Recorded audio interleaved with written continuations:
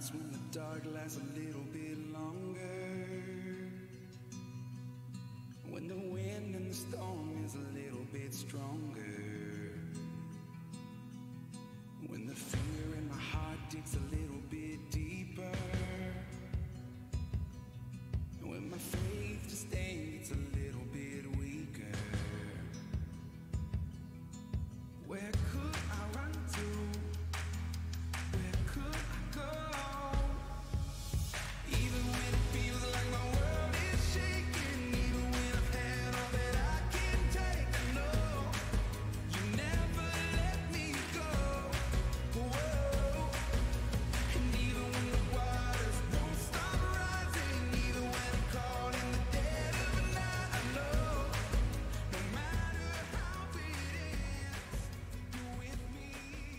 Good morning, church. Welcome to the house of the Lord. Can I get you all to stand with me? Thank you. Good morning. Good morning. I just want to lift up, before we get started, if you would all agree with me in prayer for our children, our keiki here on the island. We've been hearing lots of stories of kidnappings and runaways and stuff that is just pure evil. And so let's let's uh, take advantage of our corporate time together, and let's pray for our children. You can just in your mind extend a hand and just lift up the children you know. Dear Heavenly Father, we just lift up our babies to you, God. We pray a hedge of protection around each and every one that's on this island. They belong to you, God. And you love them more than we ever could. We ask together, Lord, that you would keep them safe. Keep evil from coming near our door. We bind the devil in the name of Jesus. You must go in the name of Jesus. Get off of our island. Get your hands off of our children. We pray and declare right now for safety.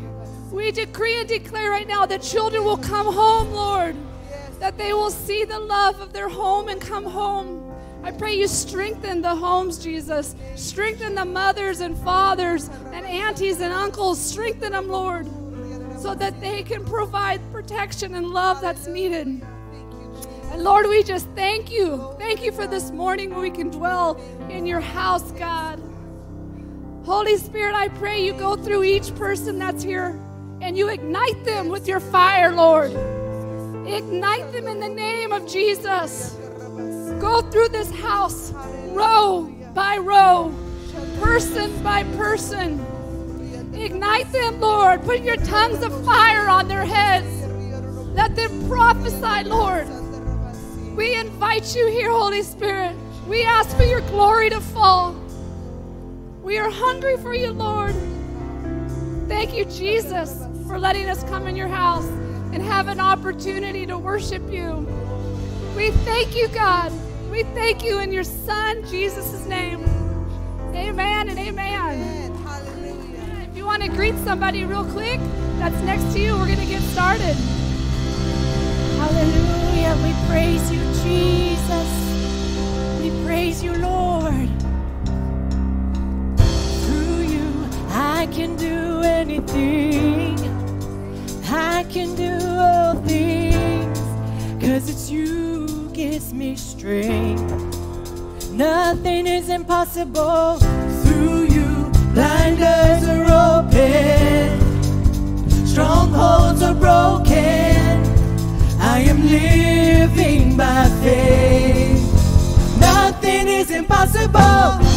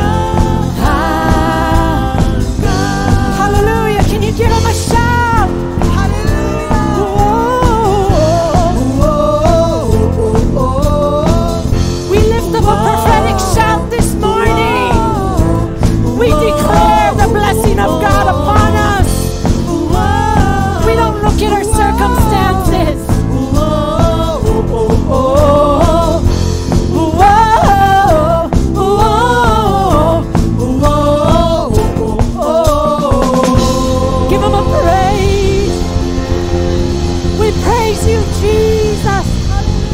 We praise your name, Lord.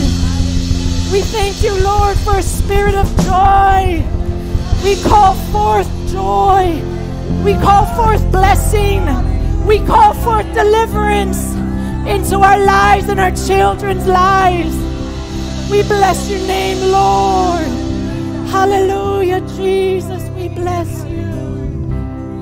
Hallelujah. Hallelujah. We bless you, Jesus. Hallelujah. Would you just invite him in?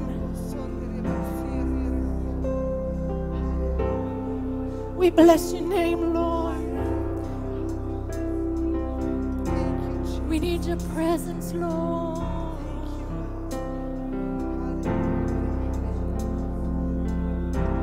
Come and fill this place.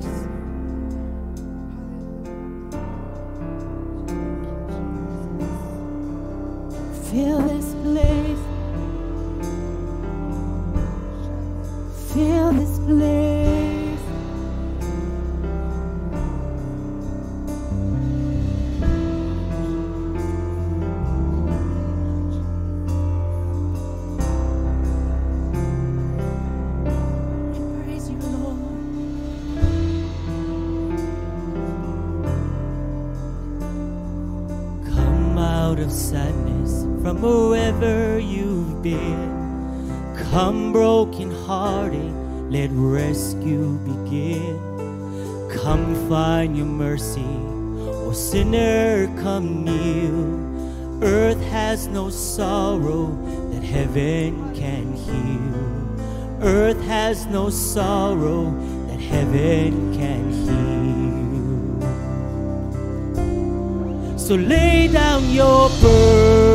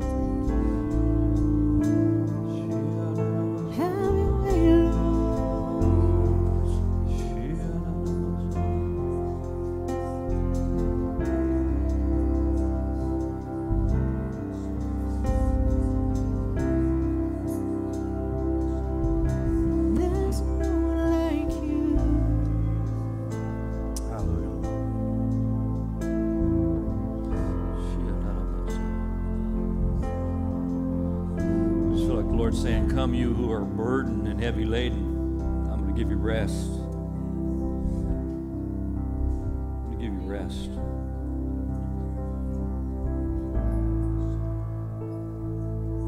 Listen, if you need prayer for anything this, this morning, I don't know what you need prayer for.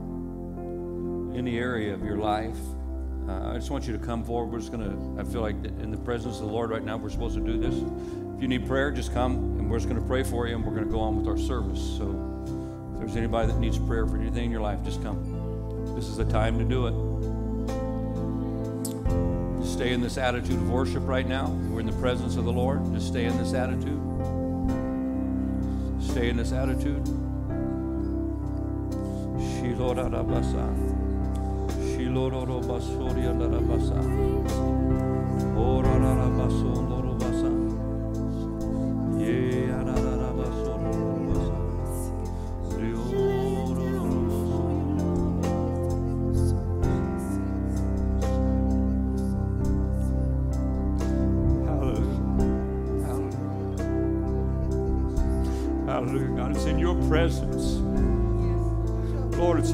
Presence, God.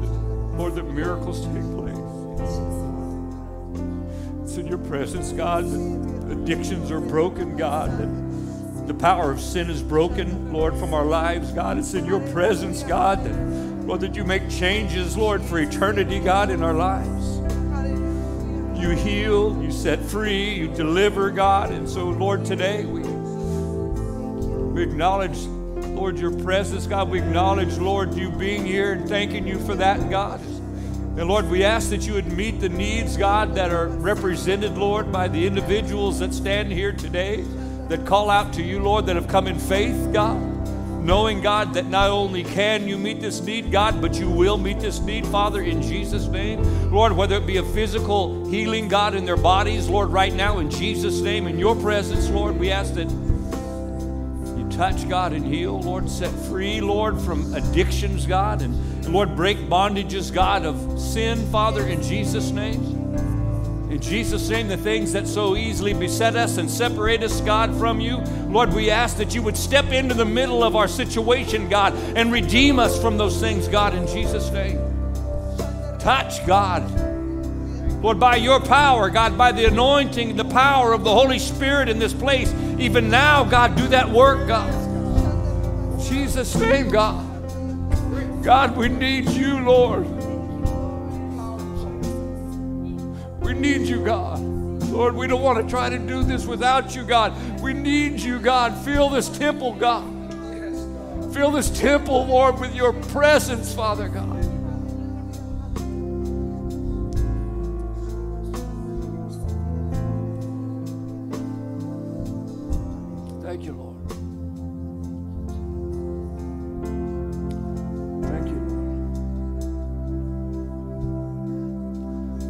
We just we just say, Lord, and acknowledge that it's good to be in your presence. It's good to be here, and this is a good place, God. Thank you for that. Thank you for showing up today. Thank you for this open heaven, God, that we're sensing even right now, Father, in Jesus' name. Thank you, Lord. Lord, we, we plead your blood. We plead your blood, Lord, over the remainder of the service, and we cancel the assignments of the enemy where he would try to distract and where he would try to come in and cause us to cause our train of thought to go somewhere else. Lord, help us to be caught up in this in this moment, God, caught up in your presence here, Father, and speak to us, Father, in Jesus' name. Speak to us, God. We thank you, God, that Lord, that you love us more than anything. You gave your life for us. Redeemed us, Lord. You call us your children. You love us. We're called according to your purpose. And you will complete that which you began in us, God, until the day of Christ Jesus. Father, we give you praise and glory. In Jesus' name, amen. Thank you, worship team. Wonderful job.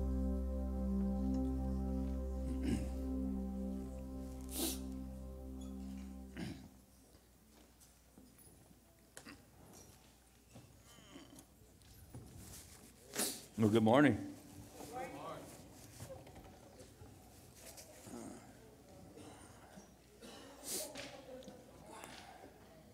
And let's give that worship team a great hand here. Just want to do a good job.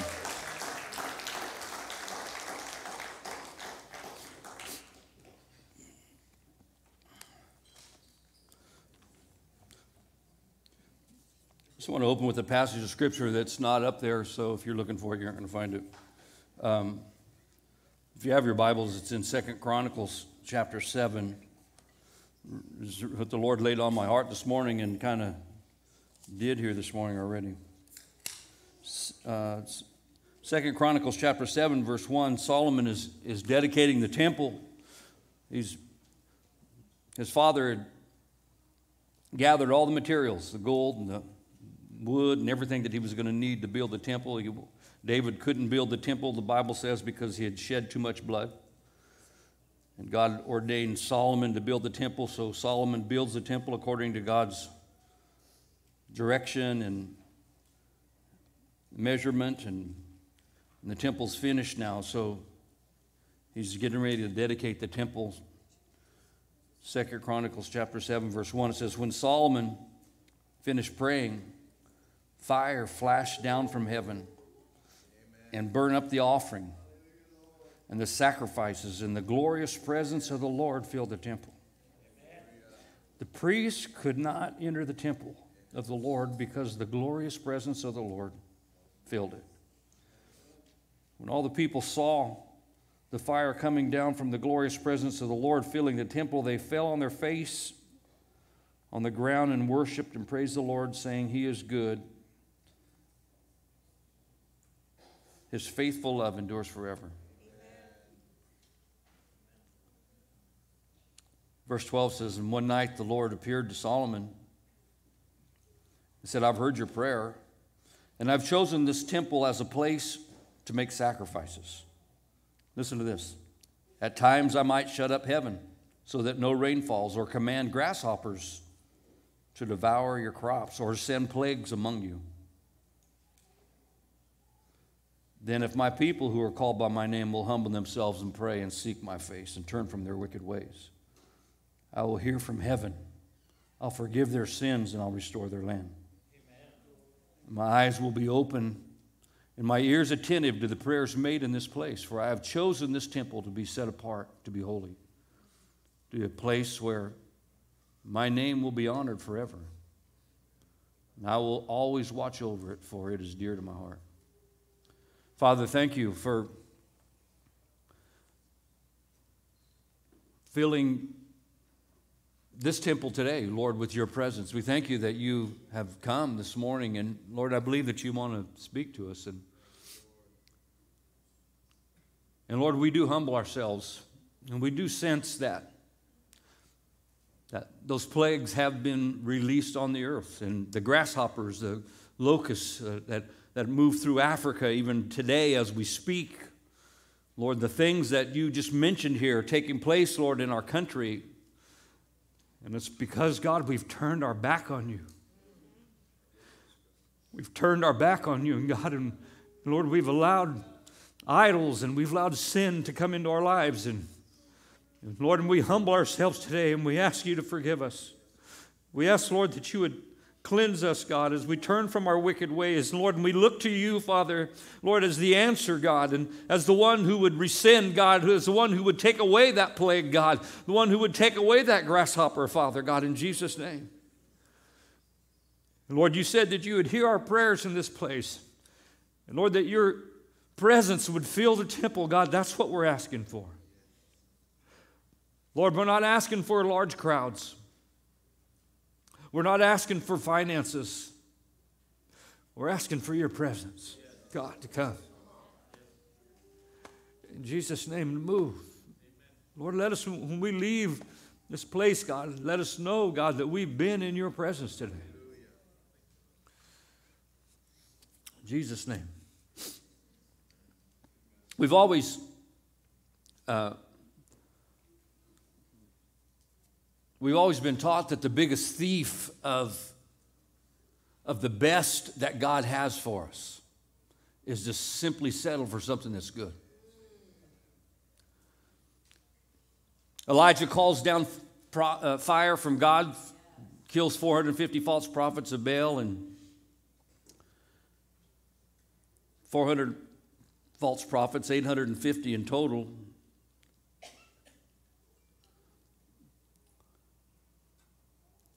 He sees God move in, in miraculous ways.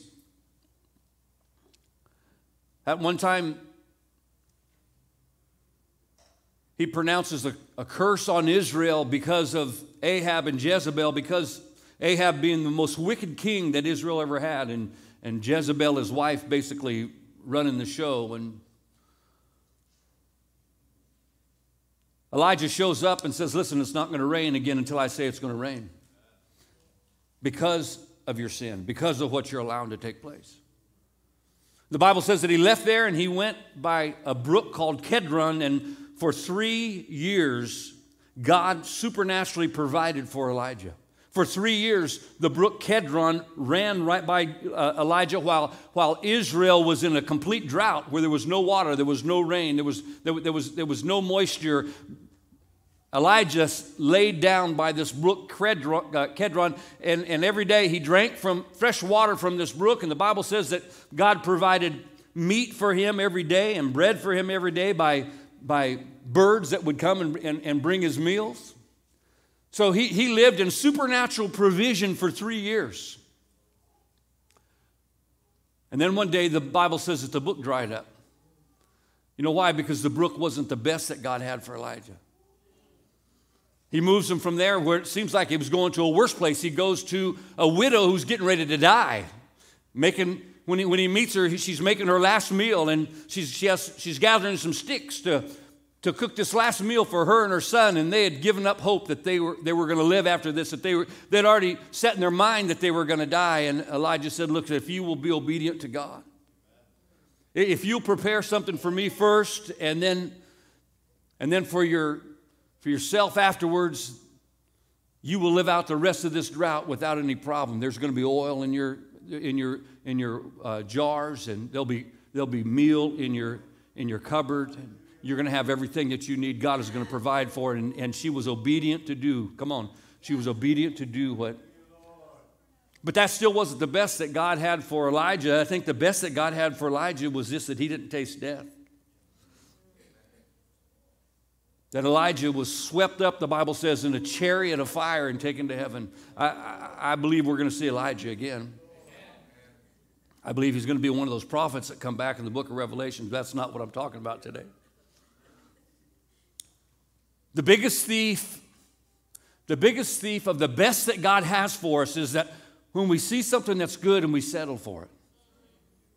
I, I wouldn't want to be up here and try to preach at all without the anointing of the Holy Spirit. But I think sometimes what happens is this is if we can just be honest that we we have the anointing, we sense the anointing when we come to church, there's an anointing on the worship and and there's there's you know there's an anointing on the message there there's an anointing on me as I'm delivering the message, but what happens is this is that we leave with just the anointing when God wants to show up like he showed up this morning with his presence.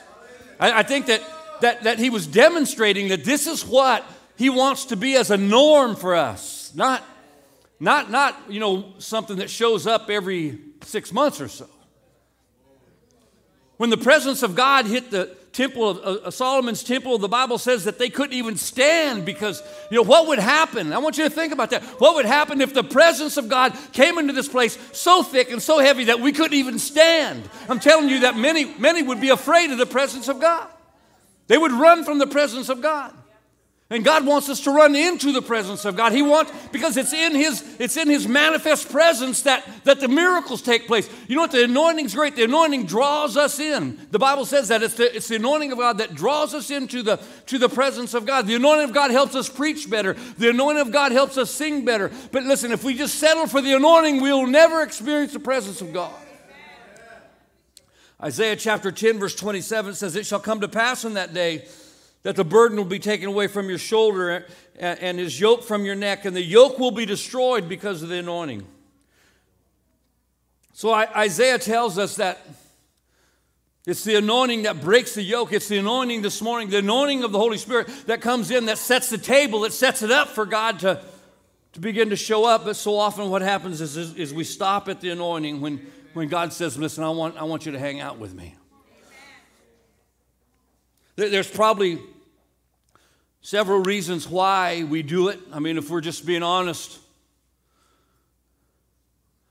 sometimes we, we, we stop at the anointing and, and, and, and don't go on in is because we want to control the service. We want to stay in control. We want to know that, listen, at 1030, we're getting out of here. We, we don't know at 10, you know, why? Because at 11 o'clock, I'm supposed to be eating lunch at somebody's house. And so, and so you know what, God, I, listen, I'm, I'm coming to church and I love you. But listen, at 1030, I'm, I'm leaving. I got to go. I got an appointment. And so if you take over, and you know what, you're going to mess up my schedule, God. So, so we settle for the anointing because we have to, we have to beat, you know, the Baptist church to the restaurant. God, and this is what God says okay. All right, all right. I, listen, I, I wanted to show up this morning, but man, have a great lunch. Maybe, maybe we can connect next week. I'm not talking to you much during the week because you don't invite me over. We settle for the anointing sometimes because we have sin in our lives. And man, I tell you what, the anointing of the Holy Spirit convicts us. Things that we've been saying, the things that we've been doing, the things that we've been looking at, and, and we're convicted by it, and we should be convicted by it because the, that's, the, that's the job of the Holy Spirit is to convict us. And, and so we're convicted by it, and because we're convicted by it, we say, God, listen, I, I, I just can't stay here, and so I, I really don't want your presence to show up.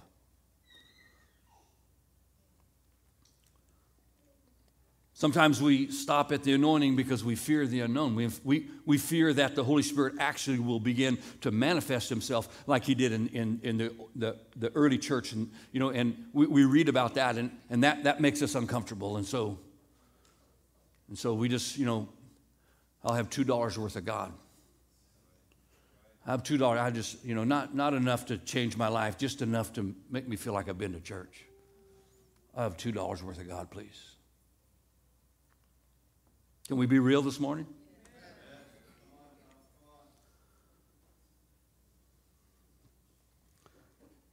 We stop at the outer courts when God wants us to come into his presence.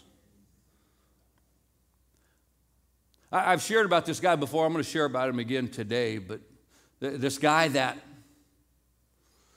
that had discovered that there really was a difference between the anointing of God and the presence of God. We know that the Ark of the Covenant, the manifest presence of God in the Old Testament, you know, when the ark moved, it was God moving. God was, you know, the, the, the Ark of the Covenant was, a, was the golden box that contained the, the, the Ten Commandments that, that, that God gave to Moses. And, and inside that, that ark, there was the, the rod that, uh, the almond rod that, that budded while it was disconnected from a tree from, that belonged to Aaron. And, and inside, that, inside that, that box, there was a jar of manna that God had made provision for the children of Israel when they were coming through the, through the wilderness. And that was all contained inside that. And so, and so they protected the Ark of the Covenant. The Ark of the Covenant was the manifest presence of God. And, and during the, the reign of, of King Saul, as we, as we read through the, the, the scriptures, that King, King Saul had the opportunity to have the manifest presence of God in, in, his, in his kingdom, but he didn't have it. He allowed it to be somewhere else. For 20 years, King Saul was the king for 40 years, and for 20 years, the last 20 years of, of, his, of his reign, he, King Saul lived on a second-hand revelation instead of a first-hand revelation. He didn't have the presence of God with him. The, the Ark of the Covenant was not, even, was not even in Jerusalem, it wasn't even around him. The Bible says that because of Saul's disobedience, because he didn't do what Samuel told him that God wanted him to do, the Bible says that the kingdom of God was removed from Saul and God appointed David to be the new king. And now David becomes king. And the first thing that David wants to do, because David loved God and loved the presence of God, and David was a worshiper, David said, You know what? I want the presence of God here with me. And so he said, This is what we're going to do. We're going to bring that Ark of the Covenant back here. And so that, kind of, we picked a story up there because the Ark of the Covenant was at a man's house by the name of Abinadab. And, and I'm not going to get into how it got there, but it, you know, the Philistines had basically stolen the Ark of the Covenant in a battle. They'd stolen it, and, and then because God put, put curses on them and plagues on them, they sent the Ark of the Covenant back. And so it ends up at this man's house by the name of Abinadab. Now, the Ark of the Covenant was supposed to be taken care of by people who were called Levites. They were the helpers for the priests, and they, their job, their calling, their gifting in ministry was to take care of the Ark of the Covenant, to take care of the temple, and, and Abinadab was not a Levite. And so they made a mistake there, even putting the, the Ark of the Covenant at Abinadab's house. But, but they, the Bible says that they consecrated Eleazar, his son. 1 Samuel, 1 Samuel chapter 7, verse 1, it says, Then the men of Kiriath Jearim came and took the ark of the Lord and brought it to the house of Abinadab on the hill, and they consecrated Eleazar, his son, to keep, to keep the ark of the Lord. And so at least they commissioned somebody to take care of the ark of the, the ark of the Lord. Now we know that they weren't supposed to touch it. Actually, they weren't even supposed to be looking at it because it was the, the presence of God. Normally, it, it, it was behind a veil in the Holy of Holies, but here it is sitting at the house of Benadab. Second, 1 Samuel chapter 7, verse 2, it says, The ark remained at Kiriath a long time. It was there 20 years. How long? 20 years. And all the house of Israel lamented after the Lord. Now, uh, I, I, I'm thinking that the, the Ark of the Covenant was at Abinadab's house, probably sitting in the corner of the room somewhere. They knew they weren't supposed to touch it, they weren't supposed to mess with it. But I, I think it became just kind of like a piece of furniture in the room. Here, here, they had the actual, they had the manifest presence of God sitting in their living room, and they didn't, they didn't recognize it, didn't do anything with it. We, I, I- we know that Abinadab had at least three sons. Eleazar, he had uh, two other sons called Uzzah and another one named Ahio, which we'll talk about them in a few minutes. But for 20 years, this, this ark sat in the room just like an old piece of furniture. We had, we, we had a, a buffet. When I was growing up, we had this big wooden buffet. It was a, a buffet like with a china cabinet thing, you know. Only you'd put, I guess you put, if you had china, we didn't have good china. We had, we had no plastic plates. We had, my dad bought this dining room set one time, the table and the chairs all ended up breaking, but the buffet, it was, you know, it, it matched it, but and it somehow made it through. It was solid walnut. It weighed about 40,000 pounds.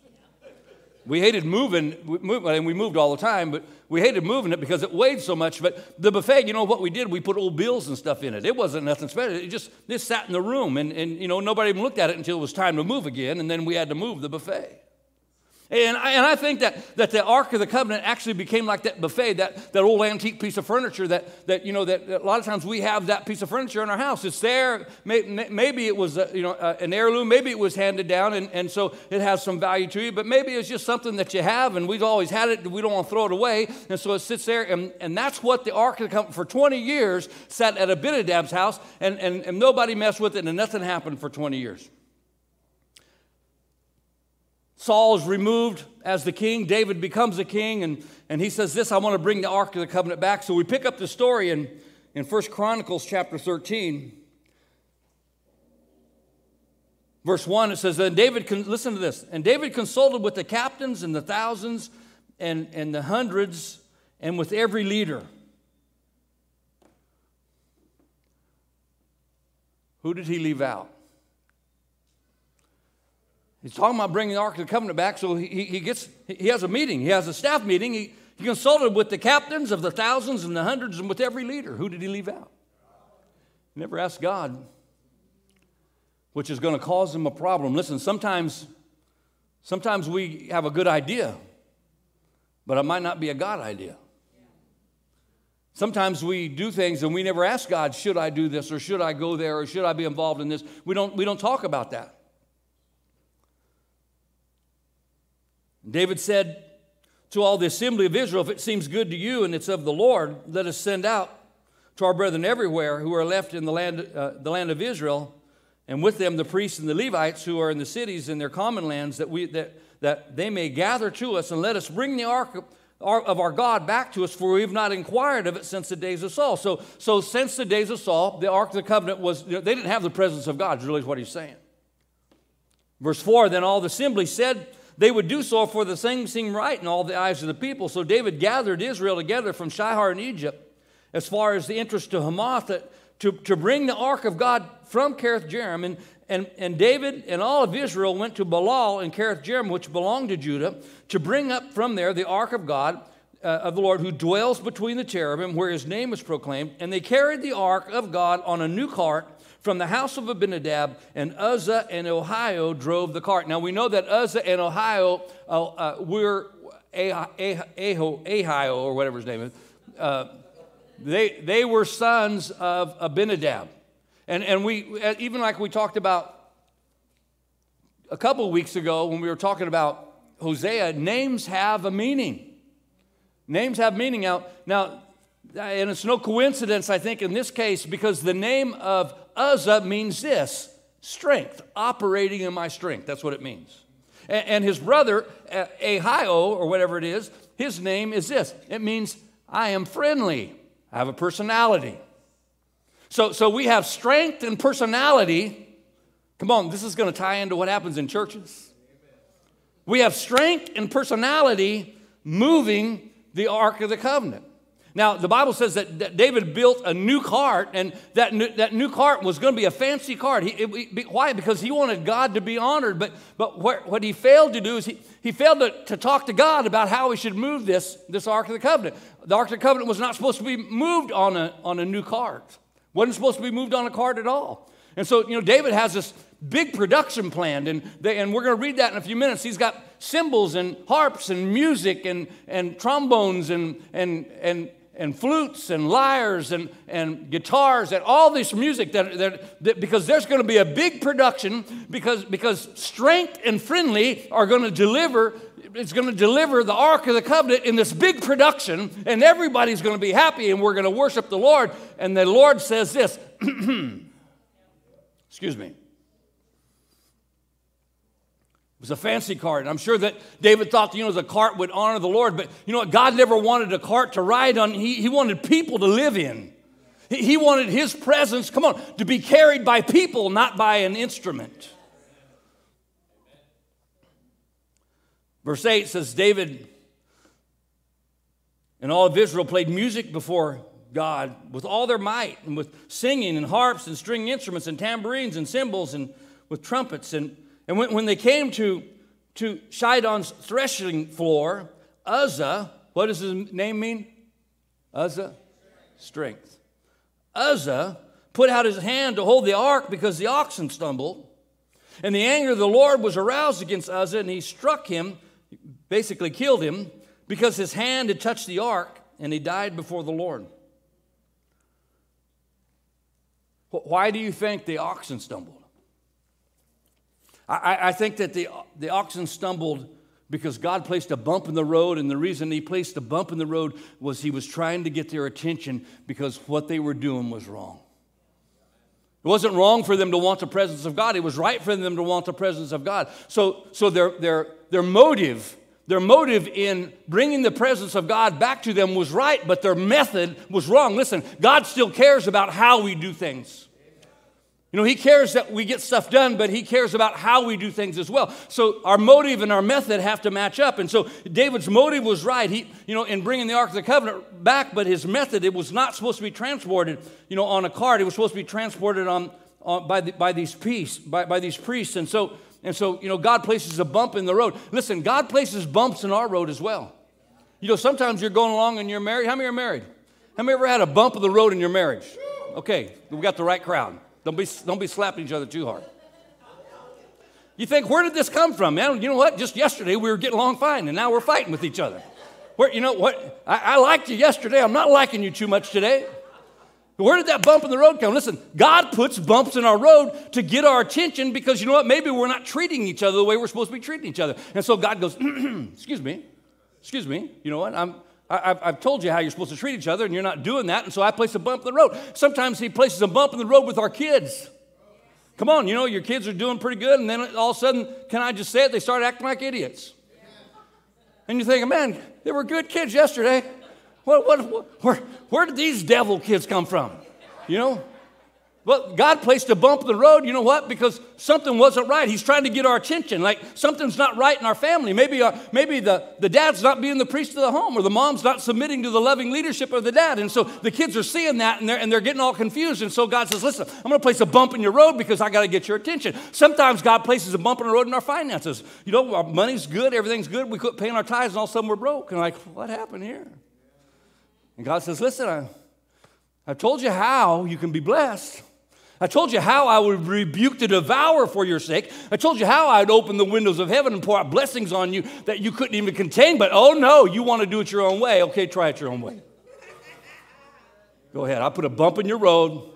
When, when you come to your senses and you realize that you should be paying your tithes, and I'm not taking an offering right now. Don't worry. Actually, we quit taking offerings, and offerings have gone up. There's a box in the back. That- That's a, that's a testimony of the Lord. There's a box in the back. We don't stand up here and tell you everything we need. God knows what we need, and He's providing that. And uh, so, anyway, that's so there's a bump in the road in your finances. God's trying to get your attention.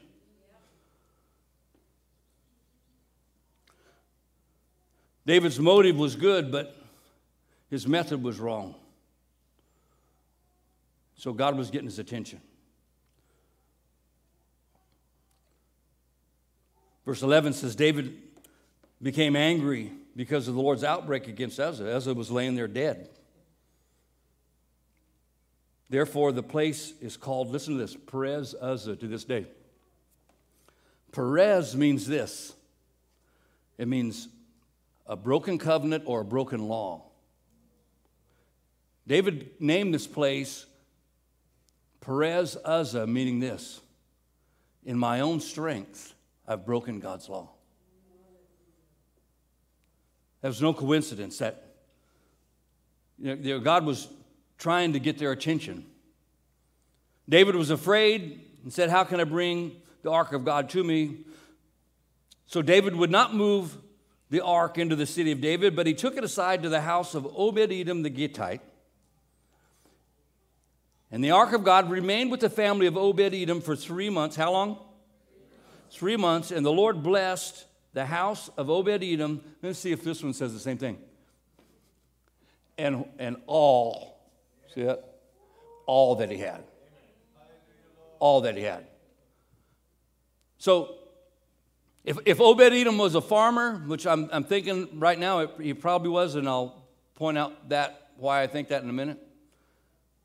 O- O- Obed Edom's corn is twice as tall as everybody else. People look at oh, Obed Edom's corn, everybody's little corn here, and oh, Obed what's, what's going on with your corn, man? What kind of fertilizer you using? Where? Well, I don't know, the Lord's just blessing me.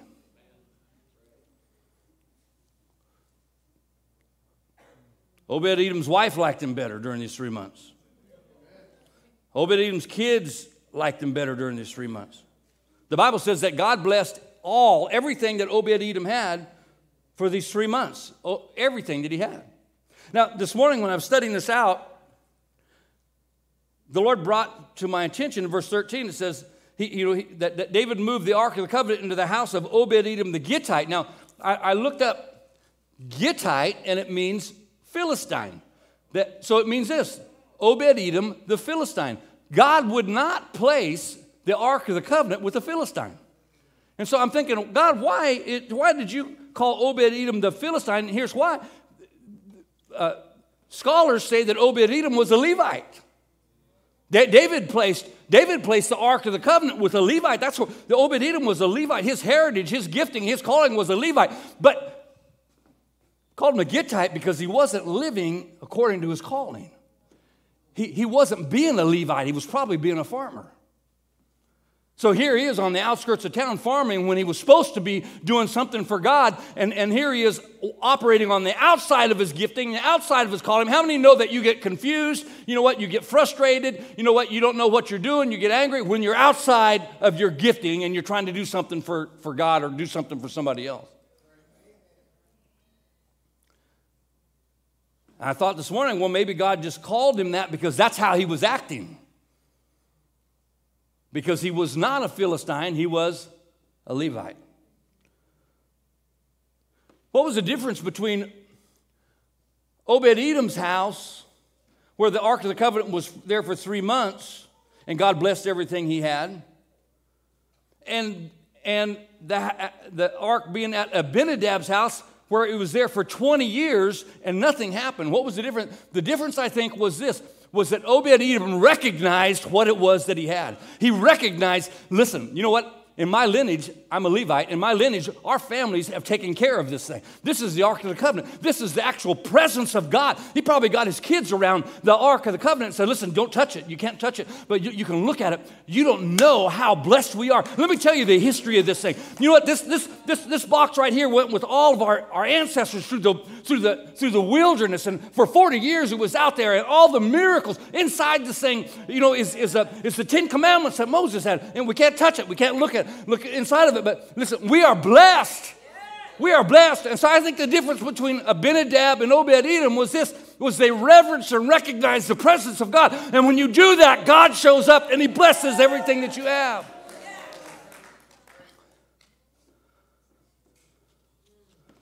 This changed Obed Edom. It changed the way he acted. It changed the way that he responded. It, it, it actually probably reminded him of his calling, reminded him of what God had placed him here on this earth for.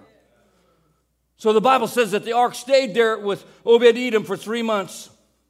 And God blessed him, blessed everything he had. See, I think that we can learn something here from Obed. We can learn this that when you get to the place that you're not satisfied with just the anointing, God will show up. But if you come here on Sunday morning and you say, you know what, God, just give me $2 worth, please. Got to go, got an appointment, gonna, gonna, we're going to go surfing today. We're going to the beach. You know, we're all going to be there. I know that's why I come to the early service, God, because I know He's got to be done by 10:30 because another service is coming. I got this timed out. Don't, don't think I don't know what you're thinking.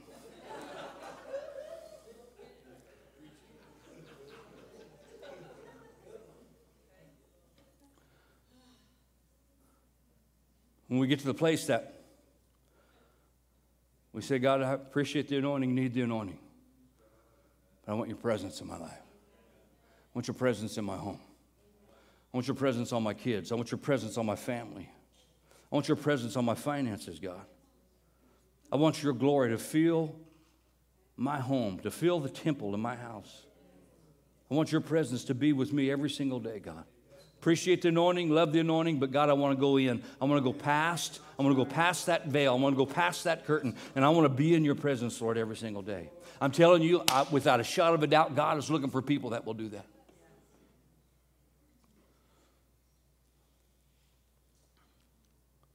So David goes back during those three months and he figures out that, that they were not supposed to move that cart or the, the ark on the cart. That he figures out that they were supposed to move the ark on these wooden poles because nobody was supposed to touch it.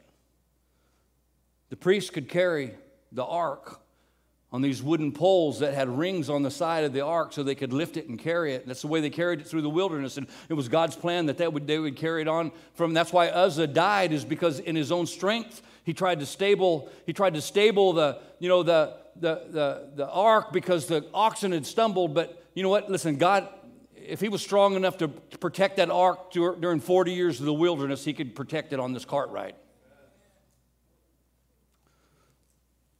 So David figures this out and he goes, he goes back to the house of Obed Edom, the Bible says, and, and he's going to go get the, the Ark of the Covenant. But this time he, he brings the priests and the Levites and he understands how they're supposed to transport it. Chapter 15 of First Chronicles says that as they're bringing the Ark of the Covenant back, this one guy, Obed Edom, continued to show up. You know, David, I, am sure he called for, put the word out that, that, that they needed volunteers. They needed somebody that, that could help in these different areas. And just like in church, we put the word out many times. We need people to, to help in these different areas, and people come and volunteer, and we, we appreciate that. I'm sure that David did the same thing here as they're bringing the Ark of the Covenant back. You know, David says, I, I would like people that play musical instruments to, to play musical instruments as we're bringing the Ark of the Covenant back. Uh, First Chronicles chapter 15, verse 16 says, Then David spoke to the leaders of the Levites to appoint their brethren to be singers accompanied by instruments of music and string instruments and harps and cymbals. So they had the whole band. They had the band together. And he said, Listen, as we're bringing the Ark of the Covenant back, I want the band to be playing. I want God to be, to be praised and stuff. And so, and so I, you know, get you, get you some, some guys together, and, and I want you to bring them together. Now, how I know that Obed Edom was a Levite, he said, to gather together the leaders of the Levites. And I want you to look in verse 18 who volunteers. Obed Edom. He couldn't have done it if he wasn't a Levite. Does that make sense? So Obed Edom probably goes to David and says, Listen, you know, hey, they, they stored that at my house for the last three months, David, and I really appreciate it. And, and I was just wondering, can, can I ask a favor? And David said, what, what's, your, what's your favor? Well, you know, I play the guitar a little bit. I'm not very good. I play guitar. But I, I, you know, I heard that you're looking for some Levites to play some music, and if you don't mind, I'd like to play the guitar. David thought, well, you know what? You watch the, the Ark of the Covenant in your house there for three months? Yeah, go ahead, you can play the guitar. And so, thanks. And so now Obed Edom's a guitar player around the Ark of the Covenant. He's really happy about it. A little while later, you know, David realizes that, you know what?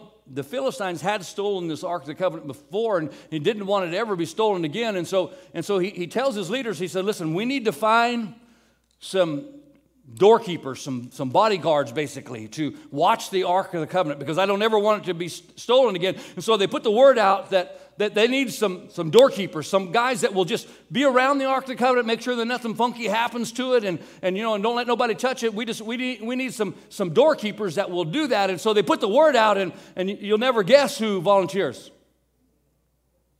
First Chronicles chapter 15, verse 24, a list of names of the people who volunteered, and there, almost to the end, is Obed Edom. Obed Edom says, Hey, David, you know, I play the guitar a little bit. I told you about that. You know, I'm not very good. You probably heard. But I you, I can whoop some guys. I, I'm, I'm been a farmer. I, you know what? I'm strong.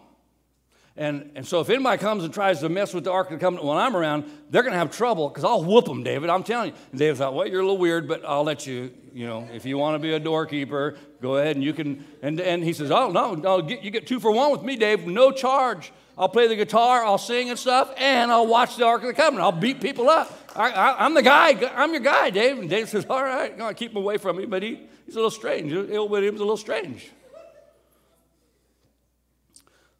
A little while later, David's looking at the Ark of the Covenant and he says, Man, this is, this is the presence of God. We have the presence of God with us.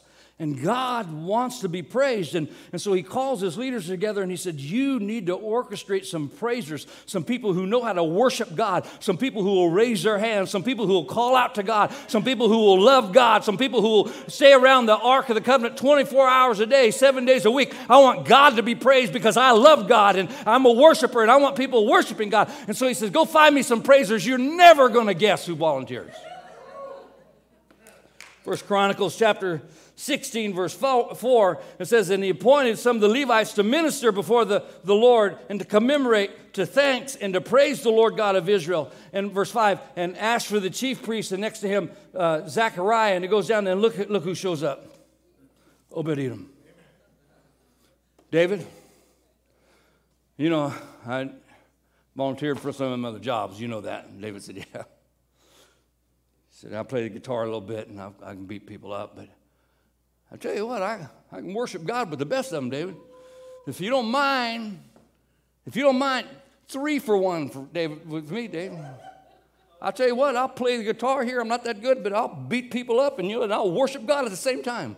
You got nothing to worry about with me around this thing, David. You know what? I'm going to take care of this thing. And so, and so, David, would you mind? Would you mind if I, if I just hung out here? And you know, when you're looking at this, you think, you know what? I got this guy's number figured out. You know what? Every job that he applied for, everything that he wanted to do, was an upfront job. It was a job on the stage. You, you look at this thing and say, you know what? Obed Edom was a glory hound. He just wanted to be in the limelight. That's what he wanted to do. You know what? To be, a, to be a, a, up here in the band and play the guitar, that's on the stage. And, you know, to be a, a, doorkeeper and a bodyguard, that, he had to be up front. That was, on, that was on the stage. And to be a worshiper, that was on the stage. That's, that's what his deal was. He was filled with pride. He was, you know, he was just a glory hound. So that's why he did that. Until you keep reading. Because a little while later, David's walking around inside the temple and he sees some cobwebs and some dust. And he says, You know, guys, I don't know if you recognize this or not, but this is the presence of God that we have here. And this place is filthy. Now, I want you to put a word out, put a post out there somewhere that we're looking for some people that will come and clean this temple. You know, we have people that come here on Thursdays. You never see them, you never hear from them. And they vacuum and, and they dust and they, and they clean the surfaces of stuff and they clean the bathrooms and they dump the trash and you never see them. You never hear from them. But God sees them. God hears from them.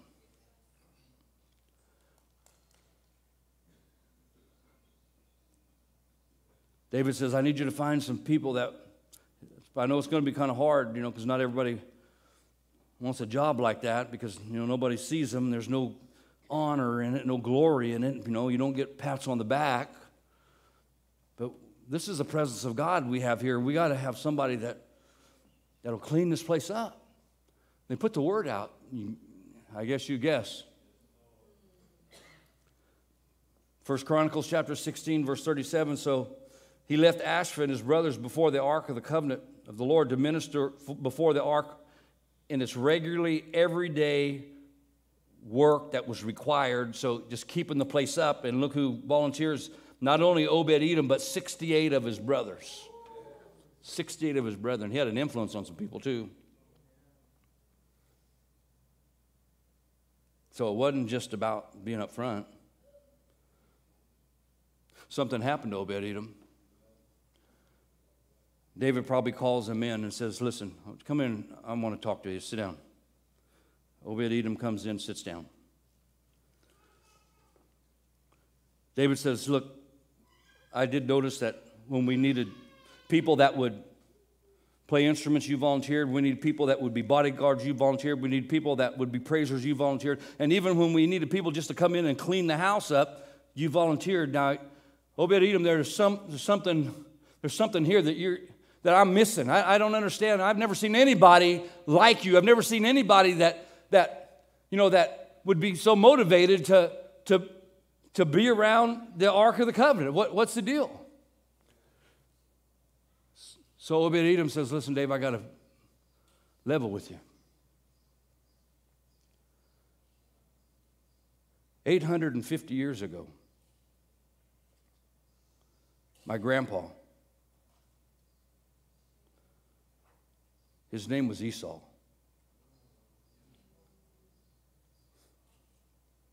He traded the presence of the Lord for a bowl of beans. David, for three months, I've had the opportunity to feel what it was because it was supposed to be Abraham, Isaac, and Esau. But it ended up Abraham, Isaac, and Jacob because my grandpa traded away the presence of God for a bowl of beans. And David, for the last three months, I've had the opportunity to feel what it felt like to have the presence of God. And I don't ever want to lose it again. So if you don't mind, I'll just clean up around here.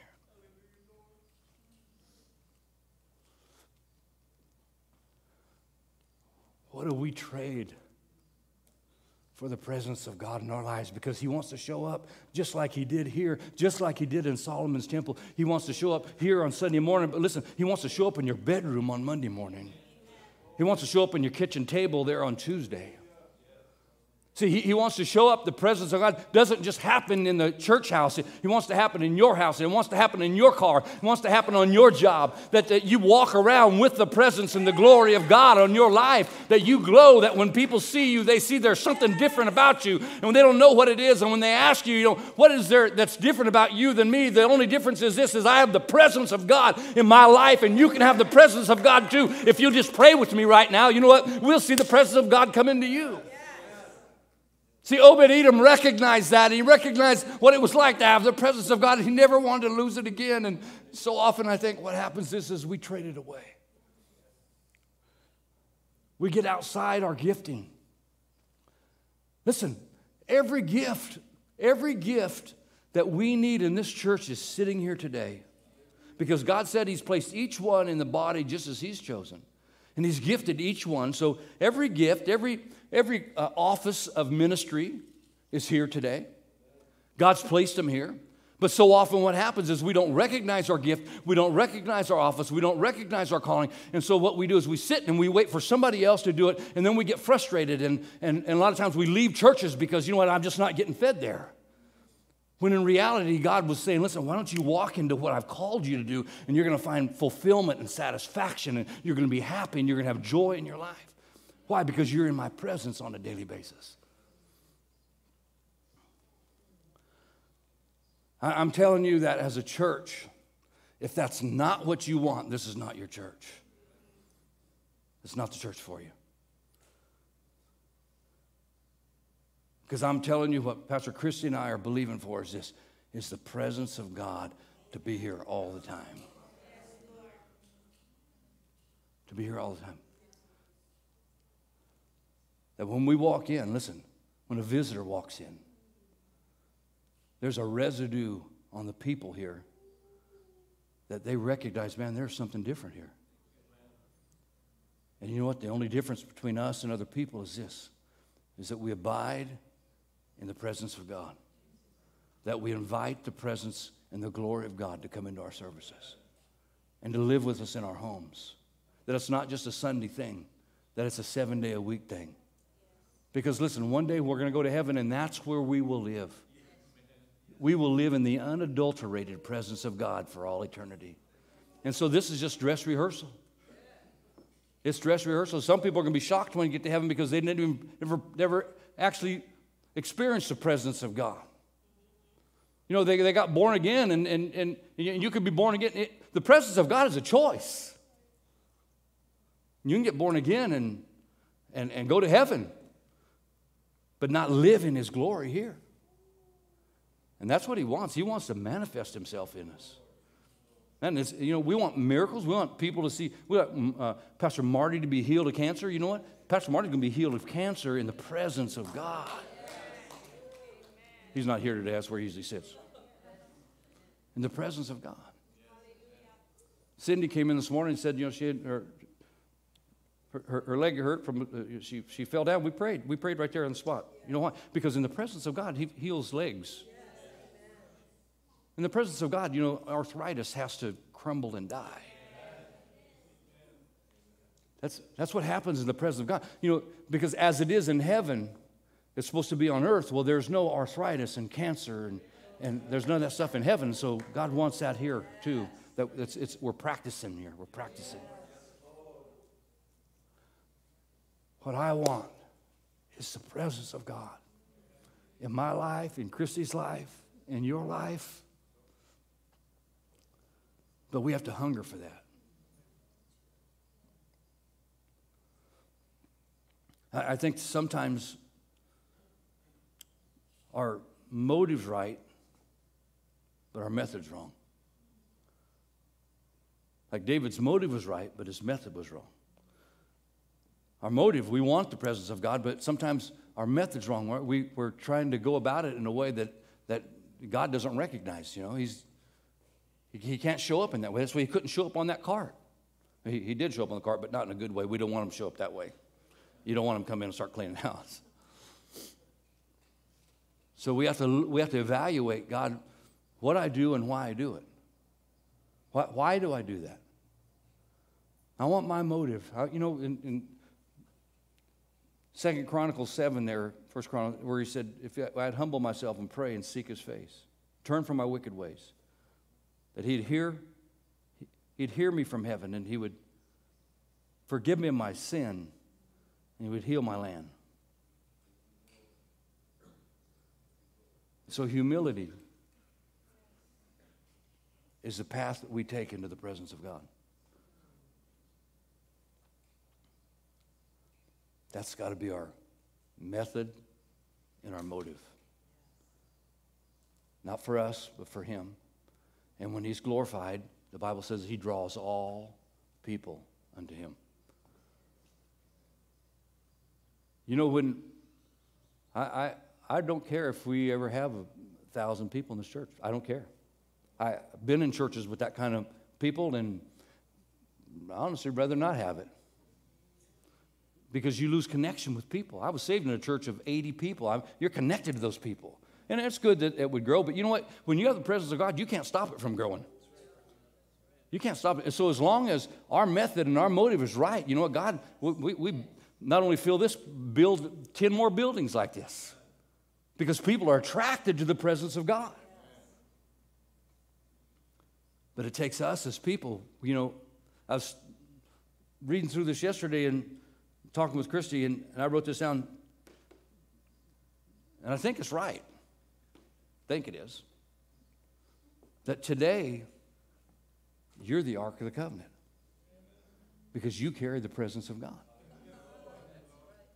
You carry the presence of God. So you bring the presence of God in here. That's why when two or three of us get together, God has the ability to break loose. Why? Because we have the presence of God coming here.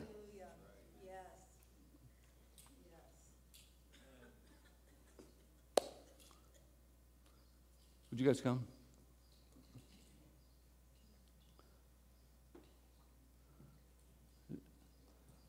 You know, Harlem, would you come? I don't know. Uh, that, that song that we, that Harlan, you sang, what was it? The one you just sang?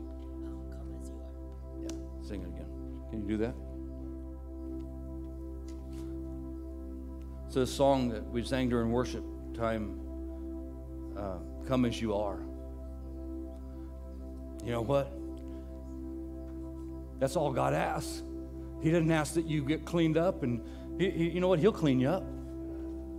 He just asks that you would come. Come as you are. We come into His presence, saying, God, you know what? I, Sometimes I come into God's presence, I don't even know what I need. I just know that I need God's presence. And so, to close our service today, this is what I want to do. I, I, I told you what I'm looking for and I'm expecting and I'm wanting to do. I'm too old to play games. Which I know I look young. I know that. But I, I'm too old. I'm too old to play games with God or people. When, we come together, we need to come together and, bring your presence of God, and I'm going to bring my presence of God, and we're going to have the presence of God in our service. So you know what? And as we come as we are, that means that you know what? I might have messed up this week. I, I, I you know, sinned in my mind or sinned with my mouth or, or or did something wrong. You know what? And God's able to cleanse you and forgive you of that if I will come to Him and humble myself in His presence. And and so that's what it takes is us saying, God, I, you know, forgive me, God, I messed up this week. And He says, I know, I saw you. Forgive me, Lord. He says, All right, I'll take your sin and remove it as far as east is from the west and not remembered anymore. How about that? I'm just glad that you're here with me in your presence, in my presence. As they're singing, I, I, I don't want to coerce you or try to twist your arm. But I do believe that God's watching today. And He's looking for hearts that are saying, God, use me. God, send me. God, use the gift that you've given me. If that's you as, as we're singing that, I, I want you just to just to get up and come to the front and we're just going to pray and that's how we're going to close our service today. Go ahead, guys. Come out of sadness from wherever you've been. Come broken hearted. Come on. Let rescue begin. Come find your mercy. O sinner, come kneel. Earth has no sorrow that heaven can heal. Earth has no sorrow Yes. that heaven can heal. Yes. So lay down your burden. Hallelujah, Lord. Lay down your shame. God, we lay it down here today. All who are broken. Come, God. Lift up your face. Thank you, Lord. Oh, wanderer, come. Move through this place, God. Move through this place. You're not too far. So lay down your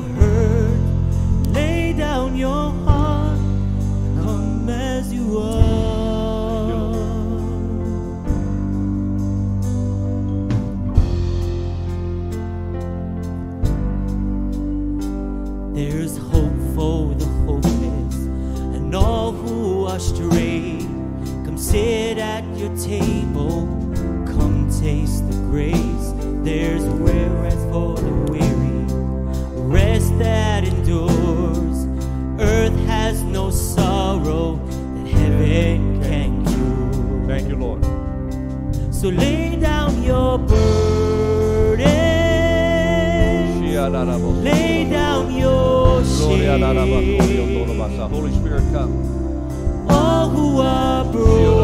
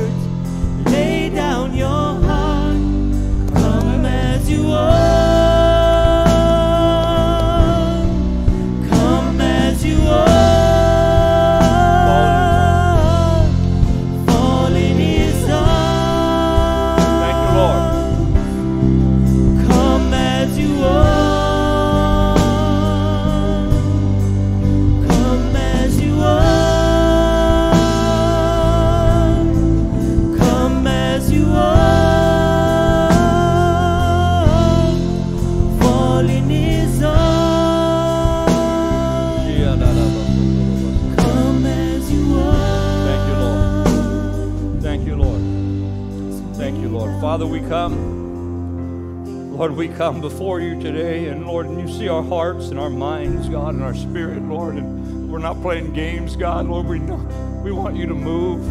Lord, we want you to fill this temple, God. Fill our temples, God. Fill us, God, with your spirit, God. Fill us with your presence, God. Lord, let your glory abide in us, God, that when we come together, Lord, corporately, Lord, there'll be a glory in this house, God, Lord, that will shine in Hilo, Father God, in Jesus' name. Lord, that lost people would be drawn to your presence, God. They'll be drawn into your light, God. Those, Lord, that are in bondage, God, to sin, God, would have it broken, Lord, because of the anointing and the power of the Holy Spirit, Father God. Lord, we come and we ask, Lord, that you'll touch us, God. Renew our hearts and our minds, God. Give us hunger for your word, God. Give us hunger for your gifting, God. Give us hunger for who we are in the body of Christ as you've placed us here, God. Lord, and help us, Lord, to be about your business, Lord, here in this city, God. Lord, we believe that Hilo will be saved. Lord, you desire for Hilo to be saved, God. Lord, we want to be a part of that, God. Use us, God, in Jesus' name. Fill these individuals today, God, with your presence, God. When they leave today, God, Lord, don't leave them, God. Lord, walk with them in their in their presence, God. Lord, walk with them in their home, in their car, in their job, God, in their schools, God. Lord, let your presence abide on us, God. Help us, God. Help us, God, in Jesus' name. In Jesus' name, as we're in this atmosphere right now, I just if you're a believer and you're here today, just ask God, how does this apply to me? How does this apply to me? How does this apply in my heart, in my life right now? And he'll show you. He'll show you what you know what needs to change, or maybe he'll just you know encourage you that you are exactly where you're supposed to be, doing what you're supposed to be doing. But just be open to what God's telling you. So I want you just to ask the Lord right there in your own in, in, in your own way. Just ask Him, God, how does what I just heard here apply to me? Is there anything in my life that that's hindering? And Lord, you know what? I, I don't have to point that out. You, you already know. God's already pointed it out. If there's anything that's hindering, any idol, anything that we've placed before Him, any habit that we have that that's breaking communion and fellowship with Him. We're dealing with people that that are living together and not married, you know, and God's blessing's not going to be on their life, and and so I, I'm I'm meeting with people and and and seeing that they get married, they have the blessing of God on their life, because corporately that affects us as a body. When we have we have blatant sin in our lives. I, I, want you to come because it's in it's in God's presence that He'll deal with that. But let Him deal with that. Any habit that needs to be broken, let Him help you with that and deliver you from that. You know, because it's the anointing of the Holy Spirit, like we talked about, that breaks the yokes of bondage. That, that's that's His business. That's what He does, and He'll do it if we allow Him to do it. So when we come in, we want to come in with clean hands and clean hearts clean hands and clean heart. You know, the Bible says that Job was a blameless man. It doesn't mean he was a sinless man. Blameless means that he walked in integrity, that he was beyond, he was honest with God. If there was anything in his life that wasn't right, he was honest with God. God help me with that. And that's why God says that he was a blameless man. He was an upright man in all his ways. And that's what God's looking for. He's looking for that in us. Man, I, I want to see God move in our city and and, and, and move across the island. That revival that we've been praying for and believing for. Man, I'm telling you, he is so for that. He's so excited about that. He, he wants to manifest himself, and he's saying, Come on, just get some things right so I can show up. So, as you're researching your heart out right now, I want to talk to another group. You, you may be here and, and you say, Tom, none of this makes sense to me. I, I don't understand this presence of God stuff and this anointing stuff. I don't understand that. And that's okay. I'm glad that you're here. And let me explain why you don't understand it. The Bible says that before we come to Christ, that there's blinders on our eyes and blinders on our heart. And we don't understand the Bible. We don't understand God's word because these blinders are there. But when we come to the place that we ask Christ, who died for our sins and God raised from the dead, when He asked Him to come into our life, the Bible says that the blinders are removed, and all of a sudden the Word of God makes sense. And all of a sudden, when I pray, I know that God hears me. Even though, you know what, maybe my life's not all perfect and all, which none of our lives are. If, you, if you've not come to that place that, or, or you know what, maybe you, you have come to that place and, and you walked away from God. And, and today, God says, Come as you are. Come on, come on back. Come on back and let me reestablish my relationship with you. The Bible says that the angels in heaven rejoice, rejoice over one person. And you know how many people on a Sunday and around the world get saved on a Sunday? They receive Christ on a Sunday? That them angels are busy all the time. Because it's God's plan of redemption to redeem us. Write our names in the Lamb's Book of Life that when we do die, that we stand before him and he says that we can enter in not because we were good people or bad people, but because we belong to him. We became his children by believing in him. If you're here today you say, Tom, I've never really prayed that prayer, or I prayed it and I've walked away from God, and I'd like to pray that prayer and ask Christ to come back into my life. If that's you, would you raise your hand? I'm going to pray for you today. Pray for you right where you're sitting or standing.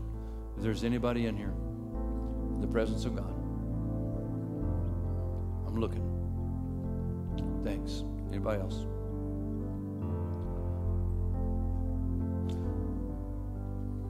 Okay, let's let's just pray. Let's pray with our brother here. He, he's, he's prayed this prayer before, and you know sometimes sometimes we sometimes the enemy attacks us and makes us think that we're not saved when we've asked Christ to come in our life, and he does that to keep us from growing. Because if I never really settle it in my in my heart that I'm saved, I'm going to heaven, then I never get past the initial salvation, even though God still saves me, right? And so let's pray that, uh, and we're going to pray just to make sure, because there may be some people here that, that didn't raise your hand, but you need to you need to pray this prayer. And even though you didn't raise, it's not raising your hand that gets you into heaven. It's raising your heart, raising your heart to God and saying, God, change my heart. Let's just pray out loud and say, say, Jesus, thank you for your presence. Today, I ask that you'll fill me with the Holy Spirit. Forgive me of my sins. I, I repent for every sin that I've ever committed. I'm sorry. Please blot my sins out. And today, make my relationship with you fresh and brand new. I receive you as Lord and Savior of my life. Let your presence abide in me. Thank you for saving me. And thank you for saving me, God. In Jesus' name.